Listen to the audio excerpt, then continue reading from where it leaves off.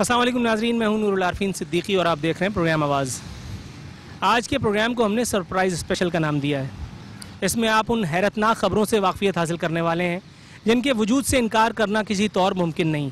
इन खबरों को सुनकर न सिर्फ़ हँसी आने लगती है, बल्कि मारे हैरत के इंसान का मुँह खुले का खुला रह जाता है। तो आइए, आज के इस प्रोग्राम का आगाज़ करते हैं। वज़ी अजम साहब का एक स्टेटमेंट है, वो कहते हैं कि 2018 तक ख़त्म हो जाएगी लोड शेडिंग। आप इस बात पे ईमान लाते हैं? सर मुझे तो नहीं लगता क्योंकि इनके आने से पहले भी हर दफ़ा यही एग्रीमेंट हुआ है कि प्रॉमिस हुआ है कि अगले साल लाइट आ जाएगी फिर अगले साल आ जाएगी। और मुझे तो नहीं लगता कि ये 2018 तक आ जाएगी। 2018 में मेरे ख्याल एक और स्टेटमेंट आ जाएगा कि अब 2025 में आ जाएगी। लगता यही है कि 2050 तक भी नहीं आएगी। अच्छा वजी अजम साहब ने एक और बात कही है कि ट्रांसमिशन लाइन के मंसूबों पे काम तेज़ी से जारी है। ये कौन सी लाइन है जो वजी अजम साहब ने दी है? क्योंकि ट्रांसमिशन लाइन तो जो है वो तो सबके सामने सही है वायरलेस सिस्टम होगा जो नज़र नहीं आ रहा है। मेरे दोस्त जदीद दौर की डायनों से वाकफियत रखते हैं कुछ? नहीं। थोड़ा सा जनरल नॉलेज से काम लीजिए ये मुझे बताइए कि पिछले दौर में डायनों में भी कुछ अखलाकियात पाई जाती थी।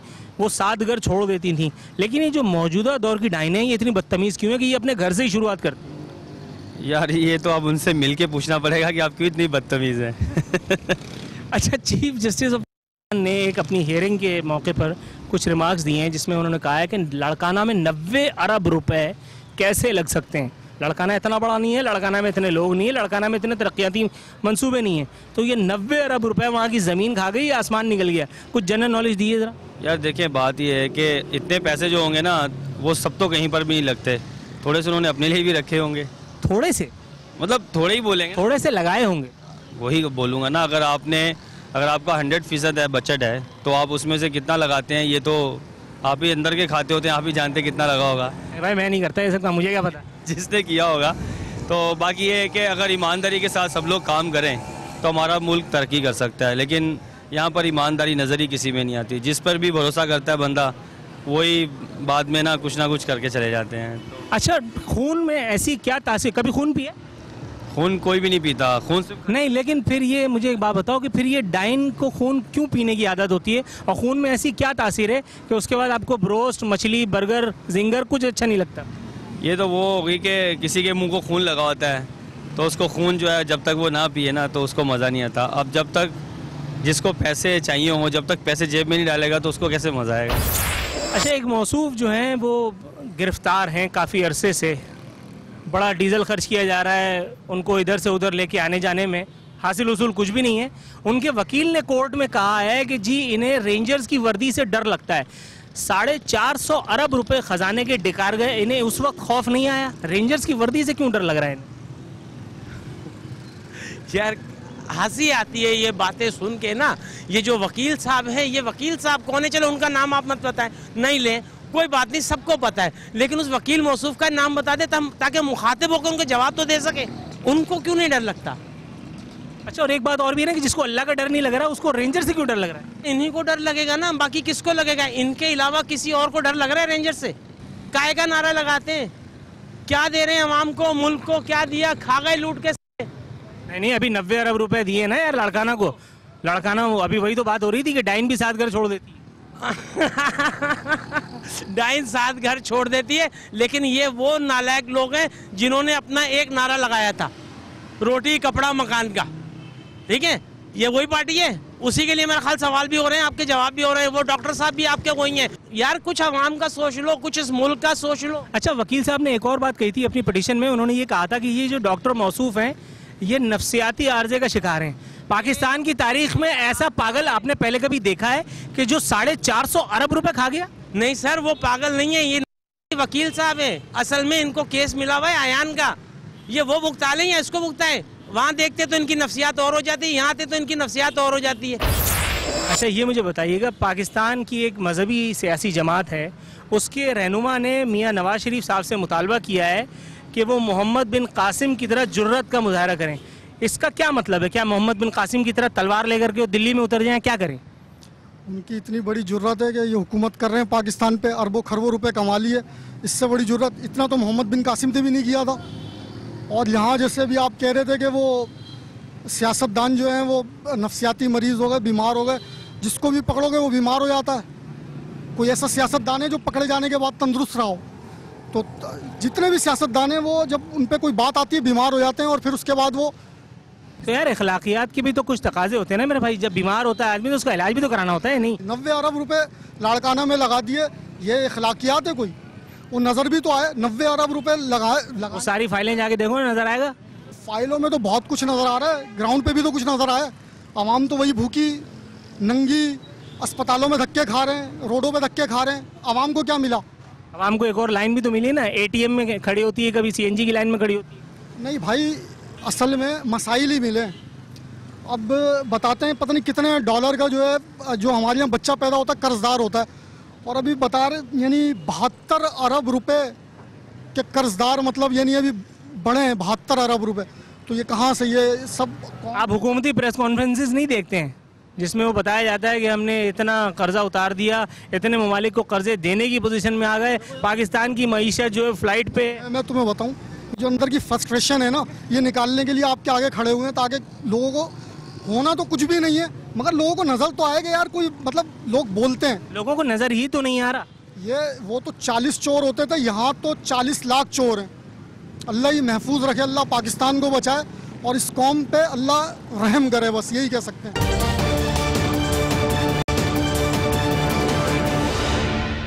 मेरे भाई वज़ीर आज़म साहब का एक स्टेटमेंट आया जिसमें उन्होंने कहा है कि 2018 तक लोड शेडिंग तारीख का हिस्सा बन जाएगी। क्या लगता है लोड शेडिंग तारीख का हिस्सा बन जाएगी या मैं और तुम? लगता है कि हम ही तारीख का हिस्सा बनने वाले हैं क्योंकि अगर ये प्रो, प्रोसेस अगर करना होता वज़ी अजम साहब को तो वो पाँच साल तीन साल चार साल पहले ही कर चुके होते क्योंकि उनका वादा था कि इलेक्शन के फ़ौर बाद वो बिजली का मसला हल करेंगे। लेकिन अब तक अगर देखते हैं तो कई ऐसे इलाके हैं जो कि तारीख में डूबे हुए तो अब तक ये प्रोसेस सॉल्व नहीं हो पाया। इलेक्शन जीतने के बाद जो पहला काम किया था इस गवर्नमेंट ने वो आ करके गर्दिशी करबे आईपीपीज के जो अरबों रुपए के थे वो उतारे थे। एक काम तो उन्होंने किया। अब उससे लाइट नहीं आई तो उनका कसूर तो नहीं है ना। ये तो मेरी और तुम्हारी खताएँ हैं। हम्म, देखें कि अगर हर बंदा इस वक्त इतना उलझा हुआ है अपने आपसी मसलों में कि कोई बंदा रोड के ऊपर प्रोटेस्ट करने के लिए नहीं निकलता। अगर ये अमेरिका होता न्यूयॉर्क होता ठीक है लंदन होता तो फिर लोग लोग जो है ना रोड के ऊपर प्रोसेस करने प्रोटेस्ट करने के लिए निकलते। लेकिन अब यहाँ पे अगर कोई एक बंदा प्रोटेस्ट करने के लिए निकलता है तो फिर उसका घर जो है ना पीछे वो कोई देखने वाला नहीं होता। वो लोग जो निकलते हैं, वो लोग वेल एजुकेटेड हैं, वो बहुत ज़्यादा वेल स्टेबल हैं।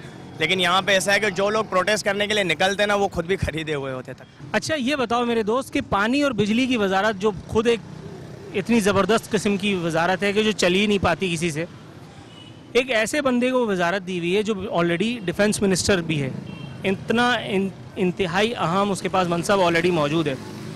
एक अकेला आदमी और बेचारा दो दो वजारतें उसके गले पड़ी हुई हैं। वो कोई काम तवज्जो से कर पाएगा? एक मिनिस्ट्री चल पाएगी उससे? मैं समझता हूँ कि ये दोनों वजारतें जो वो संभाल के बैठे हैं तो उनके लिए उनको प्रॉपर प्लानिंग करनी चाहिए।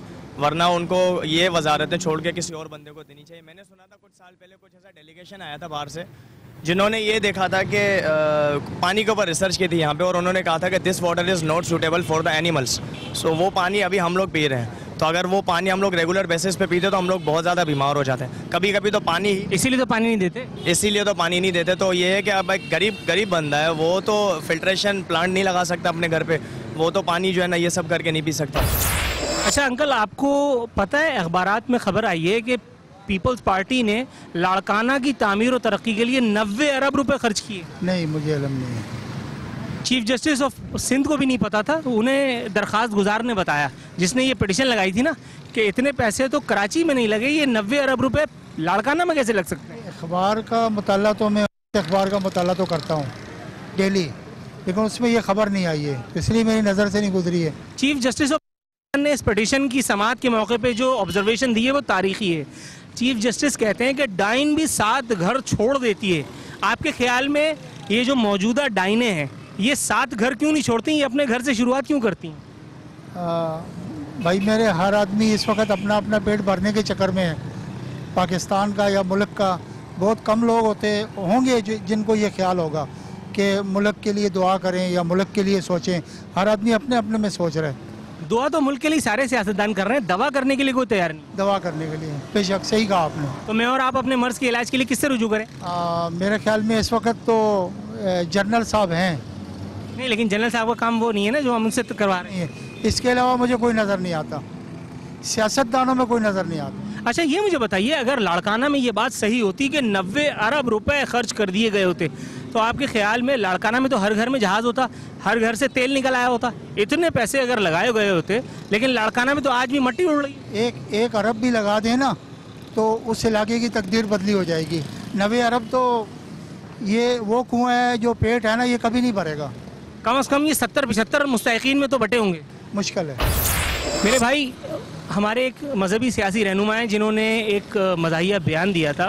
वो उस बयान में कहते हैं कि वज़ी अजम नवाज़ शरीफ मोहम्मद बिन कासिम की तरह जुर्रत का मुजाहरा करें।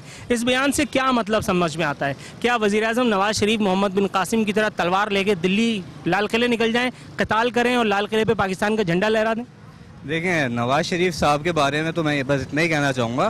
पहले वो अपनी रियाया को देख लें, क्योंकि यहाँ पे आवाम तंग है, ना बिजली है, ना लाइट है, और पानी का आपको सब पता है, यहाँ पे तो गैस तक हमारे मुल्क में ही गैस निकल रही है, हमारे पास गैस नहीं है। और जहाँ तक मोहम्मद बिन कासिम का सवाल है उसकी रियाया उससे खुश थी। और एक हमारे नवाज़ शरीफ साहब इनकी तो रियाया इनको बकरी होती है यहाँ पे। कुछ इन लोगों को ख्याल करना चाहिए गवर्नमेंट चला रहे हो आप ये देखो गरीब आदमी कैसे जी रहा है। लेकिन नवाज़ शरीफ साहब आपके इस स्टेटमेंट के बिल्कुल उलट। नवाज़ शरीफ साहब के स्टेटमेंट्स मैंने सुने भी हैं और पढ़े भी हैं। पिछले ही हफ़्ते अखबार में आया था कि अगली हुकूमत भी हमारी होगी। आप कह रहे हैं कि रियाया उनसे खुश नहीं? ये तो सर ये तो इन लोगों ने पता नहीं कैसा सिस्टम चला रहे हैं क्योंकि जिससे आवाम खुश नहीं होती है कभी घूम फिर के आ जाते हैं पीपल्स पार्टी वाले कभी घूम फिर के ये लोग आ जाते हैं। तो आवाम अगर किसी से खुश नहीं है तो वोट कैसे मिल जाते हैं उनको? फरिश्ते वोट डाल। सर वोट के बारे में तो मैं यही बोलूँगा कि इनके जो है आपको भी पता है आप भी पाकिस्तान मैं समझ गया आपको आप बेहतर समझ सकते हैं कि वोट इनको कैसे मिलते हैं। पाकिस्तान के हालात तो आपके सामने कि अब मैं क्या बयान करूँ इसमें?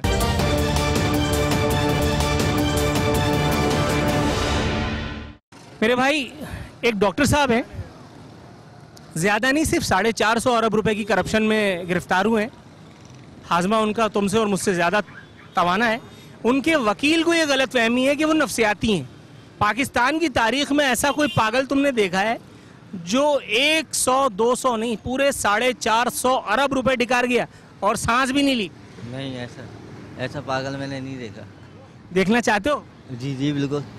मैं तुम्हें यूट्यूब पे नाम उनका लिख के दूँगा यूट्यूब पे डालना उनका नाम देखना और फिर बताना मुझे कैसे लगे। जी बिल्कुल देखेंगे वो कौन से पागल हैं जो साढ़े चार सौ अरब टकार गए और पागल भी हैं वो।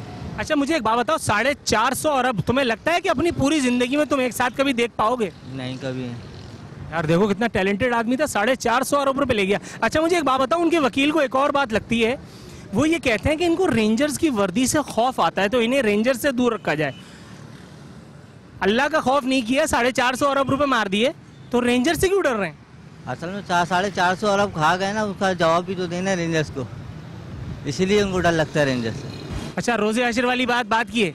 नहीं वो पहले है। वो उसको अभी उनको उसका डर ही नहीं है ना साढ़े चार सौ अरब वो यहाँ खा के बैठे उनको पता ही नहीं कि उनको ऊपर जाना है। उनको पता हो तो ऊपर जाएँगे तो उनको पता चलेगा कि क्या है ये। अच्छा पेशी पे तो खूब शेप वेप बना करके खूब किट शिट में ऑनर वो होते हैं। हाँ तो वो असल में उनको सारी फैसिलिटीज़ हैं वहाँ पे। जा। उनकी बाकायदा फिजियोथेरापी भी हो रही है। तुम कभी मालिश भी करा पाते हो? नहीं। ऐसे ही जमा नहीं होते मालिश के? पैसे ही नहीं होते कहाँ से कराएँ वो देखो फ्री में फिजियोथेरापी करा रहे हैं तुम्हारे मेरे खर्चे फ्री है ना उनको? हर चीज़ फ्री है साढ़े चार सौ अरब है उनको। अच्छा अंकल ये बताइए कि पाकिस्तान में जो गवर्नेंस हो रही है मौजूदा उससे आप मुतमिन हैं? पाकिस्तान में जो मतलब यानी कि फाइनेंशियल क्राइसिस की वजह से फाइनेंशियल की वजह से हर आदमी टूटा हुआ है। चाहे वो दुकान वाला हो चाहे हम हो या आप हों। असल मसला जो है वो फाइनेंशियल है। फाइनेंशियल जब लोग होगा नहीं तो लोग दुकान खोल के बैठेंगे और खरीद सकते नहीं हिम्मत नहीं उनकी। समझे ना? इसलिए कारोबार जो है इस वक्त बड़ा लो चल रहा है। मतलब बात ये है कि लोग जो हैं लोग बहुत डिस्टर्ब हैं। नवाज़ शरीफ साहब को कोई पैगाम देना चाहेंगे?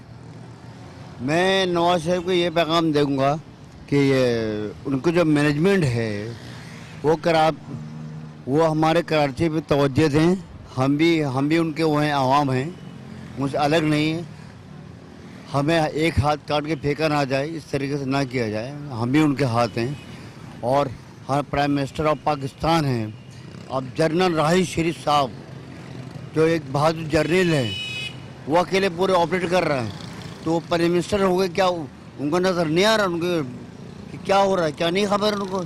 हमारी इंटेलिजेंस काम कर रही है ऐसा ही काम कर रही है। तो क्या ये बात उनको नहीं, आँखों से नहीं देख रहे हैं वो?